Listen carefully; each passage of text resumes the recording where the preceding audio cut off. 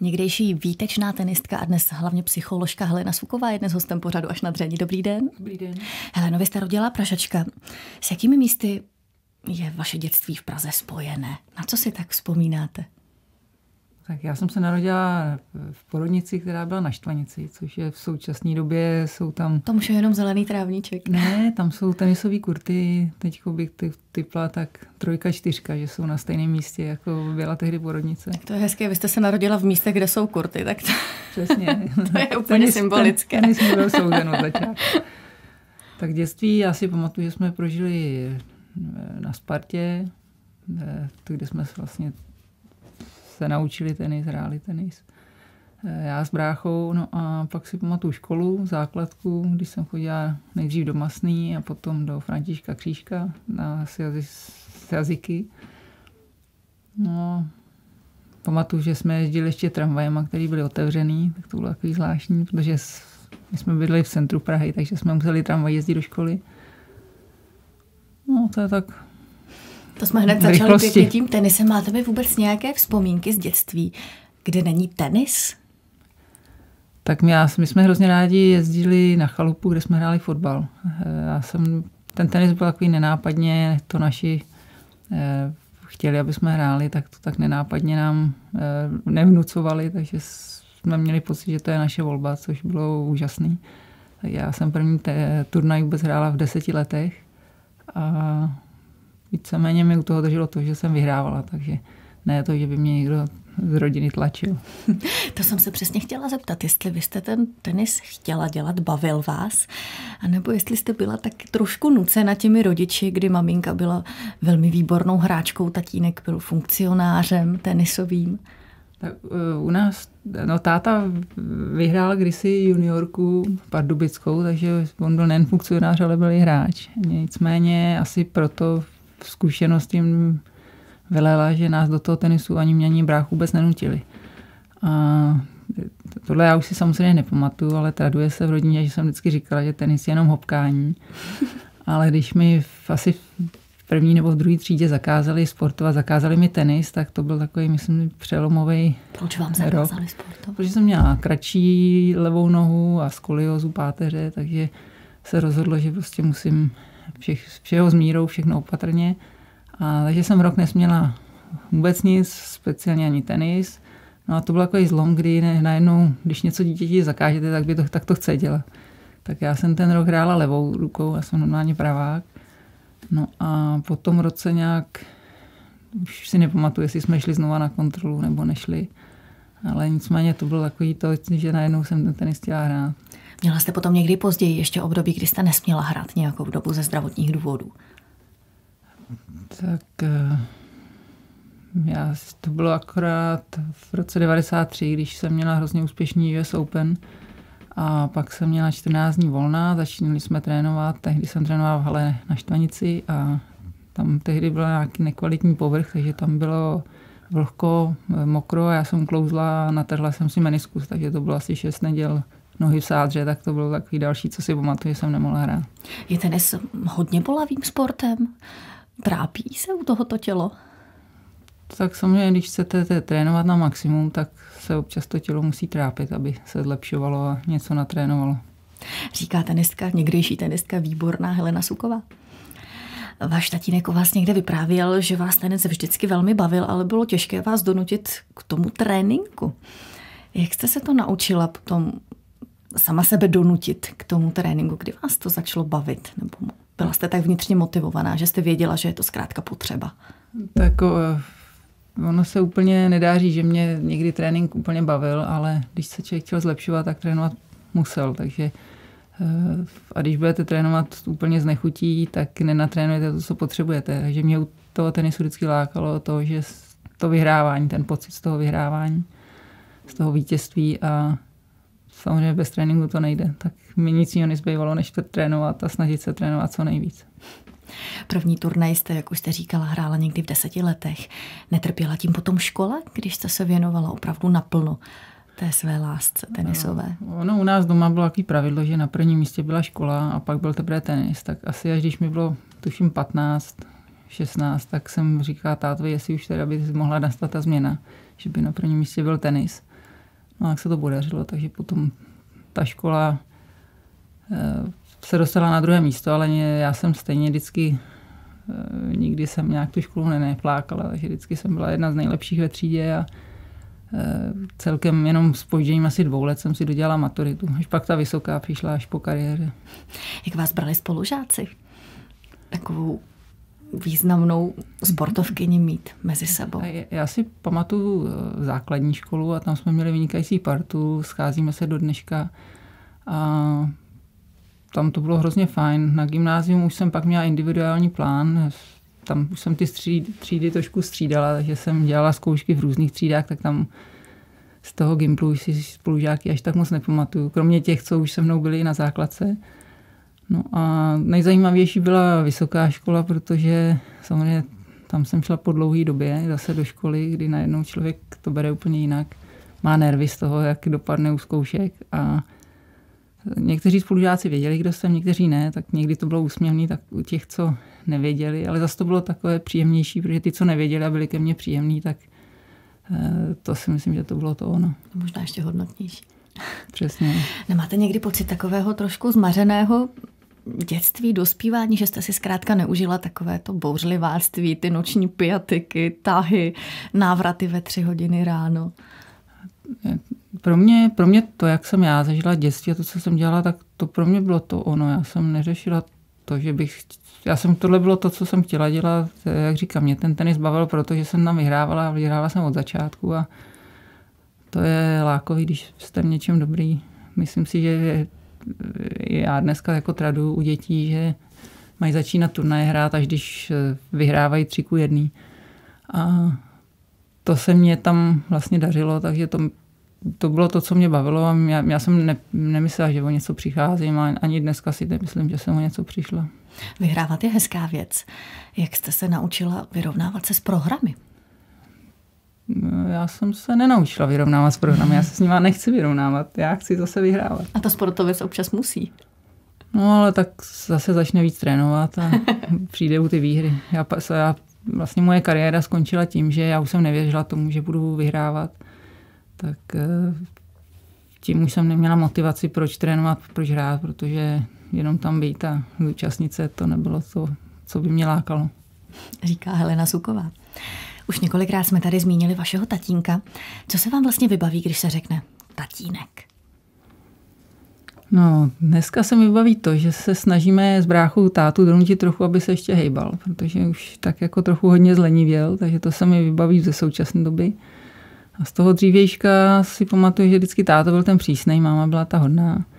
A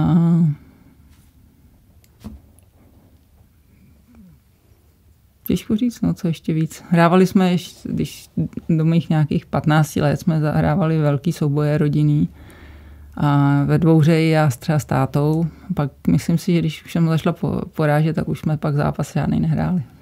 Jak už jsem to zmiňovala, tatínek býval funkcionářem tenisovým. Asi to bylo hodně propírané téma v době, kdy vy jste začínala jako tenistka, nebo i když jste potom hrála. Musela jste se hodně prát s těmi různými řečmi o, dejme tomu, nějaké třeba protekci ze strany vašeho tatínka? Eh, tak oni se naši docela hodně snažili, aby se k nám tyhle ty anonymy a pomluvy nedostali, takže jsem až tak se nám to netýkalo, historicky nějak podařilo našim zabrzdit. A, ale potom že následně táta vyprávěl, že když jsem se třeba poprvé dostala na světový žebříček, nějaký 74. místo, tak eh, se ho ptali v práci, jak to zařídil. Takže jako těch řečí bylo, ale jak říkám, našim se docela hodně dobře dařilo nás od toho uchránit a v dospělosti pak už člověk sám si jde za svým a neřeší to, co se kde povídá. Ale jako mi táta, jak říkáte, táta byl funkcionář, byl předseda tenisového svazu a myslím si, že byl jeden jako z těch nejlepších předsedů, jaký kdy český nebo československý tenis měl, protože za jeho éry to nebylo vůbec jednoduchý, ale dařilo se i přesto mít prostě vynikající úspěchy. Bylo to pro vás zavazující nebo svazující, nebo vám to bylo úplně jedno, že máte tenisově velmi úspěšné rodiče?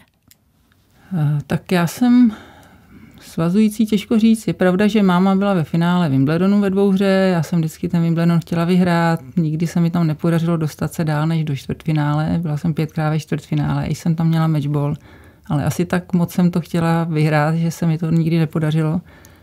Takže těžko říct svazující. Zase eh, kamkoliv jsem přijela poprvé na turnaj, ať už do Austrálie nebo někam jinam, tak mě tam hrozně měli rádi, aniž by mě znali, protože měli hrozně rádi naši mámu.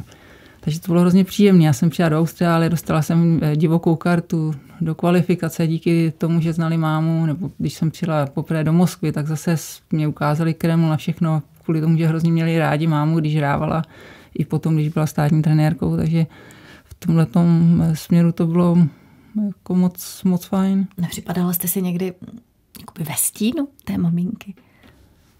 A, nepřipadala.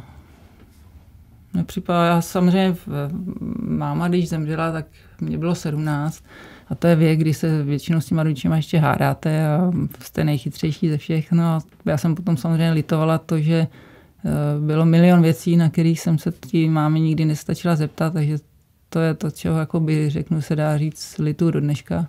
A samozřejmě i to, že e, máma byla opravdu vynikající trenérka, že kdyby bývala ještě na světě byla, tak mohla se mnou na těch turnajích jezdit a mohla mi předat všech těch zkušeností, co měla mnohem víc a asi bych toho vyhrála mnohem víc, než jsem vyhrála.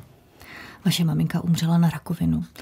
Jak dlouho vy jste to věděla, že s takovou nemocí bojuje? Jak jste to prožívala? Vy jste v té době hodně jezdila po světě, hrála, trénovala. Tak ona byla nemocná asi rok a půl, nebo necelý, dá se říct rok a půl, byla na dvou operacích. Po té první eh, oni nám dětem, a já si nejsem jistá, že táta věděl, že, že jde o ten jako nejagresivnější druh rakoviny, takže si nejsem jistá, že věděl, že to jako tak rychle prostupuje. Nicméně, když dělali tu druhou operaci, tak zjistili, že už prostě ta rakovina je v, v mozku rozlezlá úplně všude. A já jsem eh, vlastně dneska už vím, když dělám tu psycholožku, že jsem si říkala, proč není povinně do každé rodiny, kde prostě je dítě a zemře tam rodič nebo někdo takhle blízký, že by bylo potřeba nějakou psychologickou pomoc jako tam dát povinně. My jsme ji neměli, takže eh, každý člen té rodiny se s tím snaží nějak vyrovnat, jak ten náš táta, tak brácha, tak já. Eh, spolu jsme o tom nikdy až tak moc nemluvili. Já jsem víceméně sama se sebou hrála řeknu 10-15 let, ještě následně takovou hru, že my jsme byli zvyklí, že máma hodně jezdila po turnajích jako státní trenérka, takže často nebejvala doma. Takže já jsem si hrála takovou hru, že ta máma vlastně není doma, protože je pořád ještě na těch turnajích. Co to udělalo s vašimi rodinnými vztahy? Stmelilo vás to, nebo jste se naopak každý uzavřeli do té své ulity a tam jste si zpracovávali tu, tu bolest z odchodu maminky? To je asi těžko říct, tak táta si docela rychle našel e, novou manželku. Já jsem jezdila hodně po turnajích, brácha začal jezdit po turnajích, takže si myslím, že jsme se každý snažili e, dělat tu svoji stránku co nejlíp a nemyslet na to špatně. Tatínek si našel rychle další partnerku. Mm-hmm. Jak jste to brali? No, hodně špatně, protože asi to je normální, že když si rodič najde někoho nového, tak i když ten druhý rodič už nežije, tak stejně to berete jako křivdu, takže eh, špatně to člověk jako snáší. Většinou je takové otřepané říct, že času většinou všechno spraví. Jak dlouho to trvá, než si člověk v sobě zpracuje tu informaci, že zkrátka ta maminka odešla, že už prostě se nikdy neotevřou ty dveře a ona nevejde do místnosti. Eh, samozřejmě, když na tom pracujete třeba ve spolupráci s odbornou pomocí, tak se vám podaří ne jako na to zapomenout, ale naučit se s tím žít a vzít to jako fakt, protože samozřejmě smrt k životu patří. Když v tom takhle eh, to dítě bojuje samo, tak to trvá delší dobu, Eh, někdy, když se jako nesnaží ten člověk celou si to trápení prožít nebo to truchlení, tak se to může zaseknout a ovlivňuje to člověka na celý život a někdy až jako eh, ne až moc dobře. Takže i s tím se setkám v ordinaci, kdy se snažím těm, pomoct, těm lidem pomoct s tím, aby si vlastně to truchlení prožili, aby se zvykli na to s tím žít, aby to prostě přijali jako fakt, s kterým je potřeba nějak pracovat a nějak se eh, s tím naučit žít. Pomohlo vám potom po té spoustě let, když jste opravdu vystudovala tu psychologii, se s tím nějak třeba ještě dodatečně srovnat, nebo už jste na tom nepracovala? na téhle té věci na sobě? Tak já si myslím, že to studium je určitě i následně pomohlo se s tím vyrovnat, eh, i pochopit to, proč to tak dlouho trvalo, než jsem se s tím naučila žít, nebo proč jsem si furt hrála takovou tu hru, jak jsem zmiňovala, na to, že ta máma je někde na turnajích. Eh, každému to trvá trošku jinak. Eh, učebnice říkají, že takové dva roky jsou ty nejstěženější, ale jak říkám, no, každému to trvá jinak a mě trvalo asi 15 let, než jsem byla schopná o tom jako mluvit takhle, jak se teď o tom bavíme spolu. Když si povídáte s tenistou, v tomto případě s tenistkou Helenou Sukovou, tak se určitě nabízí otázka, jestli, jestli vás vlastně ten tenis opravdu baví jako ten sport, když ho děláte den co den, x hodin trénujete. Vy jste mluvila o tom, že vás zajímala především ta vítězství, ale ten sport jako takový baví pak člověka, jde se potom zahrát i třeba někdy rekreačně. Eh, já, co jsem skončila, tak já jsem trošku na tenis zanevřela, protože se mi nepodařilo dosáhnout toho, co jsem, v co jsem doufala. Takže jsem asi dva roky ani nevěděla, kam jsem dala raketu. Eh, pak mě zvali do Wimbledonu eh, na turnaj čtyřher legend, tak asi po dva, jeden rok jsem to odmítla, pak jsem tam začala jezdit. Takže do toho Wimbledonu jsem se vždycky hrozně moc těšila a nicméně už člověk jako netrénuje, ne, nespev, nemá to tělo spevněný, ne, nemáte naposilováno, nemáte naběháno, takže už ta výkonnost je úplně někde jinde, už eh, to není to stejné, takže rekreačně si chodím zahrát všechny jiné sporty. Sledujete dnes tenis jako takový? Dívala jste se teď na Australian Open, jak, jak hráli? Češi, jak, jak to dopadlo? Tenis stále sleduji, protože i třeba do ordinace za mnou chodí plno sportovců, včetně tenistů, takže eh, je potřeba být stále eh, ve střehu nebo stále sledovat, co se nového děje a eh, samozřejmě sleduju mnohem víc ženský tenis, protože k tomu mám blíž než mužskému, ale klienti chodí i obě pohlaví. Jak dlouho jste vlastně zvažovala že skončíte s tou profesionální kariérou. Trvalo to dlouho, to rozmýšlení, anebo jste se rozhodla ze dne na den? Ze dne na den to nebylo, bylo tak ke konci roku 97, kdy jsem se rozhodla, že skončím eh, v lednu na Australian Open 98.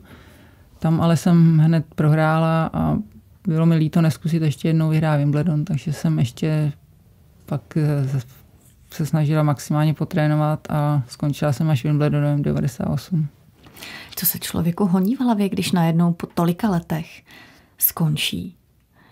Najednou nemusí ráno vstát a jít trénovat. Nemá před tak sebou cestu. Ten začátek byl skvělý, protože jsem nemusela, jak říkáte, ráno vstávat, jít běhat, jít posilovat, trénovat. Nemusela jsem, mohla jsem si dělat, co jsem chtěla. Konečně jsem navštěvovala všechny příbuzné, které jsem x let neviděla, eh, kamarády a mohla jsem cokoliv, pořídila jsem si psy ale tahle ta euforie toho volna najednou vám odezní po roce, po dvou a najednou nevíte, máte prázdno, nemáte co, do čeho píchnout a co dělat, takže eh, řeknu po těch dvou letech to začne být takový složitý, protože najednou nemáte smysl života, protože eh, celý život jsem byla zvyklá eh, trénovat a mít nějaký cíl, kterým jsem se snažila přibližovat a teď najednou bylo prázdno, takže ta situace potom je složitá. Jestli správně počítám, tak vy jste skončila, bylo vám nějakých 33. Mm-hmm. Tak to se úplně nabízí konec kariéry, založení rodiny, děti. Vás tohle nenastalo? No, protože jsem byla dohromady s partnerem, s kterým to nakonec nevy, nevyšlo a pak už bylo na děti pozdě. Berete to jako životní prohru, že se vám nepodařila ta rodina založit? Beru to jako šlápnutí vedle a asi jako poučení pro budoucno.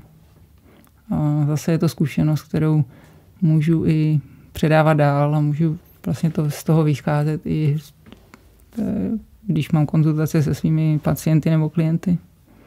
Jak vás vlastně napadlo začít dělat psychologii?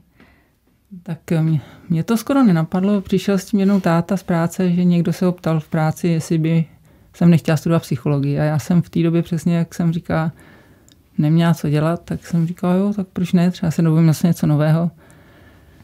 Bude to zpestření života. Takže jsem asi rok na to jsem dělala zkoušky, dostala jsem se na, na univerzitu do, do Olomouce. No a bylo to pro mě strašně zajímavé, samozřejmě v tomhle věku už jste strašně zodpovědný, takže jsem jezdila na všechny přednášky. Moje první zkouška byla úplně takhle nervní jsem nebyla nikdy za celý život z ničeho. To byla tehdy z anatomie, no, příšerný nervy. No, po, po tom prvním roce, který jsem teda zvládla, tak jsem se nějak naučila tu roli studenta, že hold se občas nějaká zkouška nemusí podařit, tam máte ještě Zkouška další pokus. to, že se má zkusit. a, takže takhle nenápadně jsem začala studovat, šla jsem s tím, až říkám, jestli je to něco zajímavého. To, že opravdu fakt psychologa budu dělat, přišlo eh, díky tomu, že jsme tam měli povinné praxe a mně se jako podařilo dělat praxe jak v léčebně v Bohnicích, tak v psychiatrickém centru v Bohnicích. A, eh, Jaká byla ta zkušenost v léčebně? Tam přeci jenom, když člověk vejde, tak to je najednou úplně v jiném světě. Tak ne úplně v jiném světě, já jsem ale myslela, že tam prostě budu jako přísezící a budu koukat na to, jak se to, jak se to dělá a e, mě e, dneska už kolegové, psychologové mě nechali s těmi pacientama pracovat a ta zpětná reakce od těch pacientů byla strašně příjemná, taková, nechci říct stejná jako z toho vyhrávání, ale příjemná, protože najednou člověk měl pocit, že něco byl přínosem a díky tomuhle tomu jsem najednou v tom našla jako nový, nové lákodlo pro, pro ten další život. Spravovat člověku duši je neuvěřitelně asi těžká a velmi zodpovědná práce. Jak, jak to prožíváte? Jste, toho, jste z toho třeba i nervózní, nebo bývala jste, abyste nešla ono, vedle? Ono to úplně není, že byste zpravovala někomu duši. Ono někomu pomáháte e, lidem, aby oni si našli tu cestu, která, je, která je pro ně ta nejvýhodnější. Takže e, možná, když by k tomu člověk ze začátku přistupoval tak, že má on hledat to východisko, tak je to eh, mnohem jako složitější a možná by mohl z toho být nervózní, ale eh, když on je to takový, ten psycholog je spíš takový eh, něco podobného jako nejlepší kamarád, který vám ukáže náhled na, nebo dva náhledy na věc a ten odborník by mohl mít třeba ještě dalších pět možných oken otevřít pro, pro toho klienta, aby si mohl vybrat, který je z těch oken bude pro něj to nejlepší. Takže eh, je to někdy složité, protože samozřejmě ty životní situace eh, nemá každý růžový, nebo někdy jsou až, až tragické, ale když se podaří aspoň o kousíček těm lidem pomoct, aby se posunuli k lepšímu, tak, tak to je jako hrozně uspokojící tenise jste milovala vítězství, ten pocit z něj. Máte i v psychologii nějaká taková malá vítězstvíčka? Nebo co jako taková vítězstvíčka chápete, která no, vás potěší? tohle to, když se podaří, že se ten, ten člověk cítí o trošku líp, že se tam něco zlepšilo vaším přičiněním, tak jako je to moc, moc příjemný pocit. Vyhledala jste i vy sama někdy pomoc psychologa? I třeba předtím, než jste vystudovala psychologii? Já jsem vlastně v době, kdy jsem hrála, tak jsme se nějak úplně o tom ne, nebo se o tom nevědělo, že bychom mohli mít psychologii, nebo tehdy se to tak až tak moc nenosilo. Vím, že jednou eh, trenér Honza Kurz přivedl nějakého psychologa, ale ten na mě vyrukoval s tím, tak povídejte, co vám vadí na trenérovi, tak ten se ode mě nedozvěděl vůbec nic. A, a od té doby nikoho. Eh, potom, když jsem začala studovat, tak jsem v té době měla, eh, díky sousedům jsem se skamarádila s panem doktorem Plzákem, tak jsme pár rozhovorů měli, ale to nebylo asi ani tak jako sezení s psychologem, spíš eh, jeho vyprávění bylo hrozně zajímavé. A, takže osobně jsem, jako, že bych chodila na sezení, nic to jsem nechodila. Jak už jste říkala, tak častokrát k vám chodí právě sportovci. A vy jste někde před časem říkala, že je vaším takovým snem přáním vytvořit vlastně celosvětovou síť psychologů, za kterými by se mohli třeba i sportovci, kteří právě končí s, psych, s profesionální kariérou, na které, aby věděli zkrátka, na koho se mají obrátit, kdo jim pomůže v tom těžkém období, kdy najednou skončí a neví, co dál. Jste, jste nějak daleko plnění tohoto snu? No, tak samozřejmě tím, že už teď to nějakou dobu dělám, tak eh, nějaké kontakty mám. Eh, je samozřejmě dobrý, eh, nakonec člověk má i sítě nejen jenom z té psychologické nebo psychiatrické stránky, ale i třeba z oboru lékařství, protože často někdy je ta, ty problémy psychické jsou spojené s těma fyzickýma, takže bych řekla, že ta síť těch kontaktů se rozšiřuje a Eh, samozřejmě díky tomu, že jsem v Modrý laguně u, u primáře Cimického, eh, ne úplně teda často, ale eh, když jsem v Praze, tak se snažím tam být aspoň jednou týdně. Takže zase spolu s ním máme tu síť těch kontaktů, takže je možný těm pacientům nabídnout, když je potřeba, tak odbornou pomoc z těch jiných oborů. Hrávala jste tenis, to je jasné, jezdila jste na koni, hrála jste svého času hokej, teď se věnujete psychologii. Zůstanete u ní stále nebo vás za nějaký čas třeba lapí něco dalšího, nebo máte už v Merku třeba nějakou další aktivitu, nebo jste teď spokojená s tím, co teď máte? Tak já tak se snažím pořád hledat něco nového, takže asi u psychologie zůstanu, to je taková hlavní náplň, ale samozřejmě z těch sportů zkouším všechno možné, tak myslím, že moje Eh, kariéra pokusu jezdění na koni už je za mnou. Tam myslím, že na koni už se eh, neodvážím lézt. Eh, hokej už hraju trošku sporadicky, teď trošku ping-pong. Samozřejmě tenis na jaře se chystám zase trošku začít. Uvidíme, no. Jsem tak jako otevřená nápadu. Už přece jenom ale s tělem takhle zhuntovaným. Teď jsem teda začala trošku víc posilovat, protože už bolelo kde co, takže díky tomu posilování, tak se to trošku zlepšilo. Tělo je zhuntováno kvůli tenisu nebo kvůli něčemu, co bylo potom? No nevím, to byste se musela zeptat toho těla, já taky nevím. Já si já říkám, eh, jsem si říkal, ne, necítím se na těch 50, ale to tělo má dojem, že je mu 60, tak uvidíme, co bude. Co Helena Suková potřebuje k takovému pocitu opravdové spokojenosti, štěstí, aby si sedla do křesla a řekla, tak, teď je mi dobře. Tak asi jako každý člověk je základ všeho je mít dobrý pocit z toho, co děláte, takže mít dobrý pocit sám ze sebe. A já jsem se asi možná i díky tenisu naučila to, že se na věci dívám, nebo snažím dívat svýma očima, takže a posuzovat je svýma očima. Samozřejmě jsem nakloněná názoru, nicméně je důležité to, co si myslím já, a ne to, co si myslíte třeba vy. a takže když já mám ze sebe dobrý pocit, dobře vykonané práce nebo z něčeho, co jsem dobře udělala, tak to je to, co mi přináší to, jak říkáte, uspokojení si sednout a mít, být spokojený, šťastný. Říká někdejší tenistka a psycholožka Helena Suková. Díky moc za návštěvu. Mějte se krásně a nashledanou. Děkuji, nashledanou.